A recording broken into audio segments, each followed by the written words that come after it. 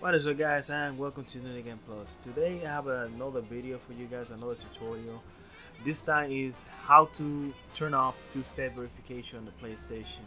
I'm making this video uh, because of a request that I have from one of my viewers. So without further ado, let me show you how to turn off this feature. Okay, in order to turn off the feature now, you need to go to settings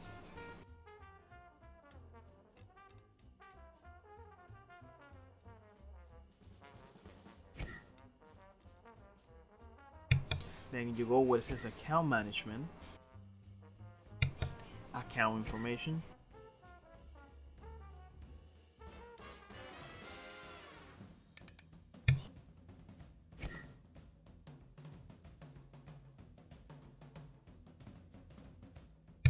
Then you're gonna go to the last option two-step verification After you reach two-step verification, you're gonna see the first option which says status. It says active. That means that right now you're using this two-step verification. From there, you can actually turn it off. Also, if you still have access to this area where the backup code is, you could actually get some codes here and try to log into your PlayStation. You cannot receive those codes on your phone. That would be your backup there. And in your mobile phone, you could see the numbers that you had set up on the PlayStation in order for you to receive the backup code for the two-step verification. Now going back to status, we're gonna go to click inactive to deactivate the two-step verification on the PlayStation. Just click confirm and then just wait. And two-step verification is already disabled on your PlayStation.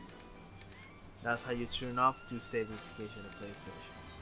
And by by going on phone, uh, mobile phones, you could see the number that was that you were using there, and from here you can actually remove that number.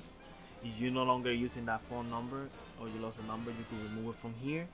And from the same option, you could add a new phone number to use, which is two-step verification from this option right here you could add an, uh, a new phone number. Is you not if you lost the other number you were using or you changed the number you forgot about it?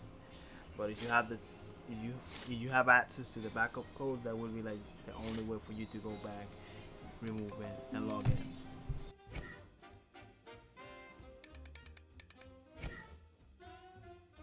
As I show you how to turn it off, now I'm going to turn back on my two-step verification the PlayStation by going to the same settings again we're gonna set it up. I don't have to put my number again because already there it's already saved on my account. So after you set it up again you're going I'm going to receive a code. I'm gonna enter that code and I will be able to log in again on my PlayStation and set up the two-step verification one more time. All the code that you receive here is going to be randomly generated so none of this code is going to work for you.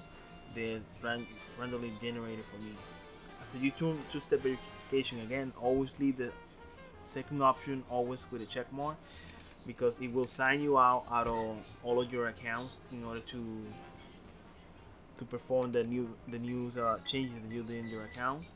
So always leave the check mark but remember you will have to sign it again and you're gonna receive a code in order for you to log into those devices again. I recommend you to leave it on because it will basically sign you out out of all your accounts and put the extra layer of security with two-step verification that you already set up. If you don't know how to set it up um, I have a you can go and watch my previous video which will tell you with more detail how to set it up step by step. Because some of the steps here are a little bit um, being skipped because all the information is already saved on my PlayStation account. And I'm just showing you just in case you want to change the number or use the same number again how to turn it on and how to get there. So thank you guys for watching. I hope you find this video informative and helpful. Remember to like favorite comment and subscribe for more. And if you have any questions don't hesitate to put it down in the comments below. I will be sure to answer your questions as soon as possible. Once again thank you for watching. I will see you on the next video. Bye